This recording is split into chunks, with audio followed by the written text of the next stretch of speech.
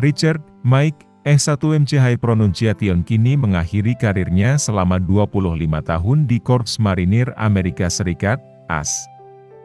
Kisahnya kini menjadi sorotan karena dia telah memutuskan menjadi mualaf. Padahal, dahulu ia sempat ingin berencana mengebom sebuah masjid, karena dirinya memandang umat muslim sebagai musuh bebuyutan. Dulu saya memiliki banyak kebencian terhadap Islam, tetapi hanya perlu untuk mengetahui lebih banyak tentangnya dan benar-benar memahami apa artinya bagi saya, terangnya, dikutip All American Muslim. Saya tidak membenci Islam saat itu, tetapi banyak hal yang saya lihat menjadi alasan mengapa saya merasakan apa yang saya rasakan di kemudian hari, lanjutnya. Namun, tidak ada yang tahu tentang apa yang saya rencanakan. Saya ingin melakukan ini sendiri, saya memiliki tempat yang dicukup dan segalanya. Saya bahkan tidak peduli jika saya tertangkap, saya hanya berharap itu akan menjadi bagian dari apa yang terjadi, ujarnya. Dilansir The Times of Israel, Richard Ma. S1MCH Pronunciation kini pernah memenangi film yang berjudul Stranger at the Gate. Karya Joshua Seftel menceritakan kisah perubahan hati dokter hewan dan agama setelah mengenal muslim di luar medan perang yang dibintangi oleh Richard, Mark, S1MCH Pronunciation kini.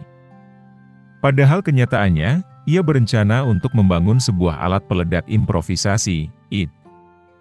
Bahkan ia berencana memasangnya di depan Islamic Center of Muncie pada Jumat sore di tahun 2009, tepat saat para jamaah berkumpul di luar gedung.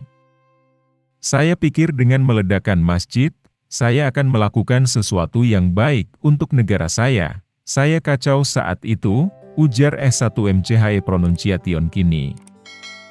Namun pikirannya berubah ketika putrinya pulang dari sekolah dan berbicara tentang dirinya melihat ibu seorang siswa mengenakan cadar ketika menjemput putranya.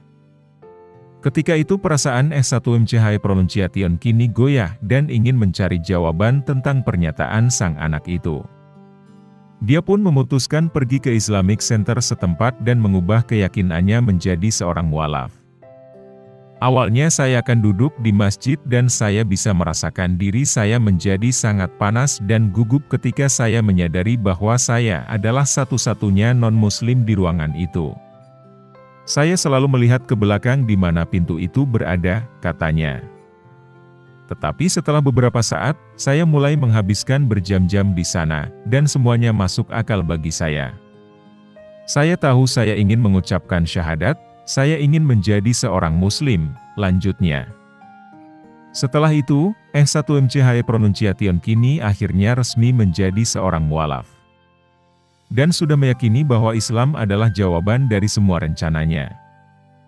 S1MCH Pronunciation kini diangkat menjadi Presiden Asosiasi Mahasiswa Muslim, MSA, Ball State.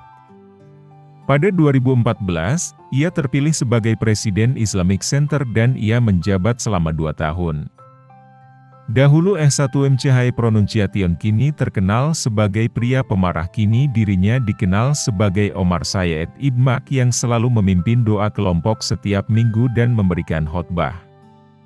Menjabat sebagai Presiden Islamic Center membuat S1MCH Pronunciation kini selalu ingin melindungi Islam di negaranya, saya akan melakukan apa pun yang saya harus lakukan agar Islam dan orang-orang di sana terlindungi, kata S1MCH Pronunciation kini.